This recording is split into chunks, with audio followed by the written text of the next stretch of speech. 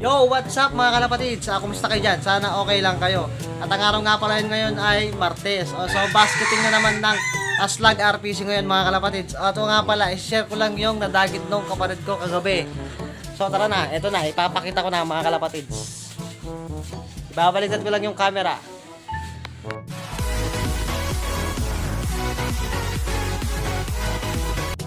So, ito na nga mga kalapatids. Ah, kung nakikita nyo tong kalapating to, ayan, hindi yan yung nadagit ko mga kalapatids. Ah, sa akin po to, kaso hindi na ngayon. Ah, pinamigay ko siya last year lang. So, nakawala to, kaya lang siya bumalik. Pero, check-in po na, pero i-check muna natin siya mga kalapatids kung okay ba yung pag-aalaga nung nag- pinagbigyan ko dito. Yan. Sa mga kalapatids siya, no? Malinis na malinis. Tapos yung, ano siya, di, di ko alam yung tawag dito, blacktail ata to eh. So kukunin, kukunin nila mamaya to mga kalapatids. So ito na nga mga kalapatids. Hawak ko na yan. Hawak ko na yung ah, bumalik sa akin. Hindi ko alam kung binenta ko to o pinabasket ko. Alam ko matag matagal na tong ano sa akin eh. Wala to sa akin. eh. Kung binenta ko man to mga kalapatids, hindi pa nag-chat sa akin yung pinagbentan ko, pinagbentan ko nito. Hindi hindi ako sure kung binenta ko to o bina, binasket ko or nawala lang mga kalapatids. So, share ko lang mga kalapatids, hindi ito yung nadagit ko. It's a prank! Ito na nga mga kalapatids, ito siya. Yan. Ayan yung nadagit ko natin mga kalapatids. Teka lang. Ito na nga siya mga kalapatids siya. Ah, blue bar siya na may kidlat sa mata mga kalapatids. Yan. Ang ring niya mga kalapatids ay kulay red. Kung napapansin nyo mga kalapatids, ah, parang may sugat siya sa kanang pakpak mga kalapatids yan. No? Teka lang mga kalapatids, ah, kukunin ko yung kalapati.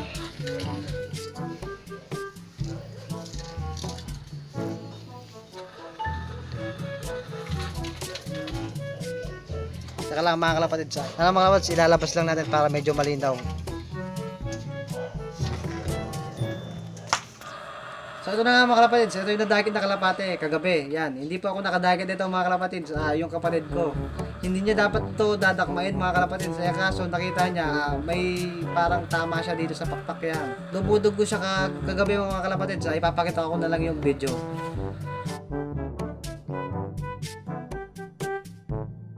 Ayun mga mga kalapatids, ah, medyo okay na yung ano, ah, sugat niya mga kalapatids yan. No? Ito, close up ko. Yan. So, ang ring niya mga kalapatids ay kulay red mga kalapatids. Yan. Tapos, P... Nakikita ba?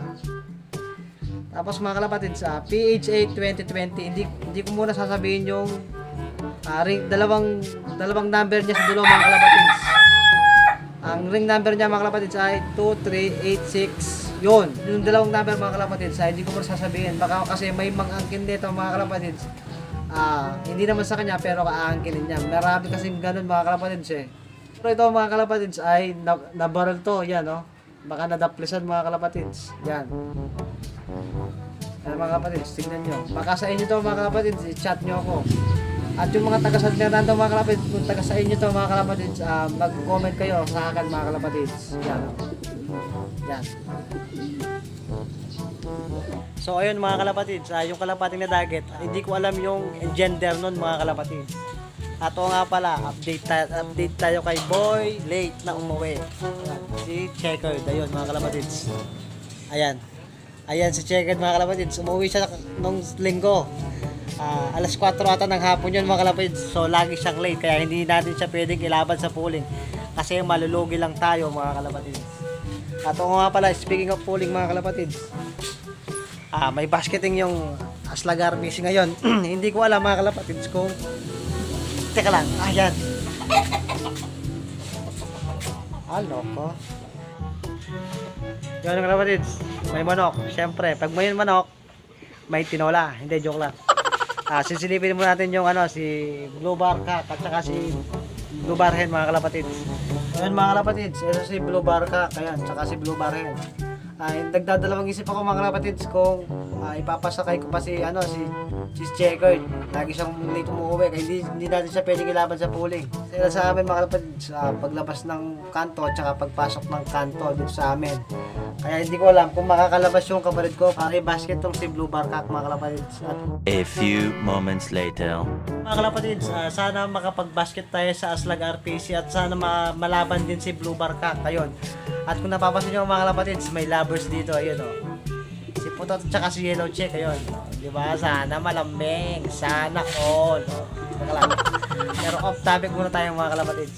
Ah, kung matutuloy man si Blue Bar mamaya mga kalapatids, ah, hindi ako yung magkakalak yung kapatid ko kasi may trabaho ako bukas mga kalapatids. Siyempre, bago ang kalapate, magtrabaho ka muna para may para may makain tong mga kalapate.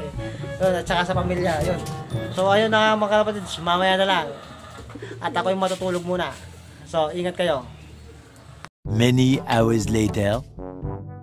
So yun na nga mga kalapatid, sa kakagising ko lang, hindi mo tuloy sa pooling si Blue Barkak. Ayun, kasi kailangan ng quarantine pass pag pupunta sa basketing station. So, hingi muna ako ng quarantine pass sa barangay, yun. So, medyo masaya na talaga mga kalapatid. Hinga muna si Blue Barkak. At kung napanood yung video to, ah, huwag kalimutan mag-like and share at mag-subscribe na rin para update kayo sa mga darating kong video. Ayun, mga kalapatids, ah, sana mag-ingat kayo lagi. Ah, God bless. Salamat po.